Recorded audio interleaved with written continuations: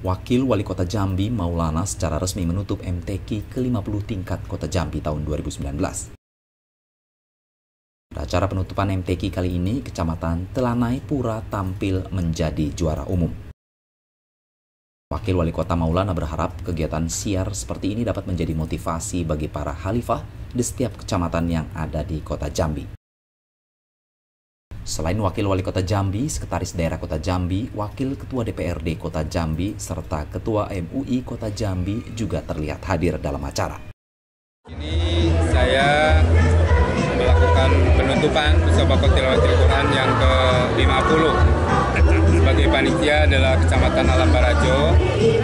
Saya atas nama pemerintah Kota Jambi mengaturkan terima kasih dan penghargaan yang tinggi atas suksesnya pelaksanaan MTQ ke-50 ini pada jajaran Kementerian Agama, seluruh unsur Forkompinda yang sudah membantu, dan juga para Dewan Hakim serta uh, Panitra, serta seluruh masyarakat.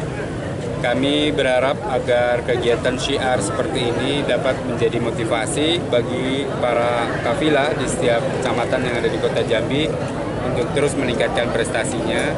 Dan kita menyongsong bulan depan MTQ tingkat Provinsi Jambi kepada seluruh masyarakat Jambi.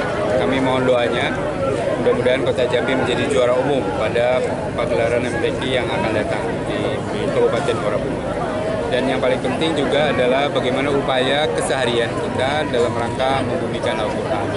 Itulah tugas LPTQ yang terus mengembangkan, membina rumah hafiz, PAMI, kemudian juga guru-guru hafiz di setiap SD, SMP, baik negeri maupun swasta, agar buta aksara Al-Quran kita bisa berantas, kita bisa minimalisir, dan juga eh, aplikasi pengamalan dari kandungan isi Al-Quran dalam kehidupan sehari-hari, sehingga benar-benar kota Jambi menjadi kota yang berbasiskan masyarakat yang berakhlak dan berbudaya. Dari Jambi, Rio Andre Fami, Tribrata TV, Salam Tribrata.